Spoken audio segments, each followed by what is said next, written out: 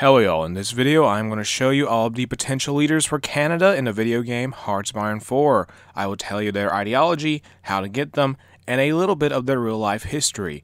And don't worry, you'll be meeting this man again. Let's start with Tim Buck, who is communist, and the fastest possible way to get him in power is by going through the patriation branch of the focus tree and by doing the communist path there, which starts with burn the royal portraits.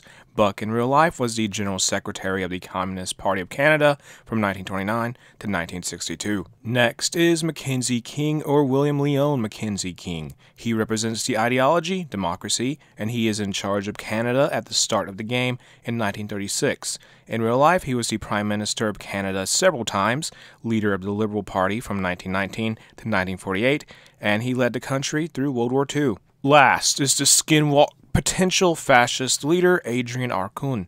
To get him as the leader of Canada in a quick manner, go through the patriation branch of the focus tree and do the fascist path there, which starts with swastika clubs. Arcun historically led a number of fascist political movements from 1929 to his death in 1967. Apparently, in his political career, he proclaimed himself to be the Canadian Fuhrer. That's all the Canadian leaders in HOI 4. Which one is your favorite? Tell me in the comments below. If you enjoyed the video, make sure to like and subscribe. Have an awesome day. I'll see y'all later. Bye.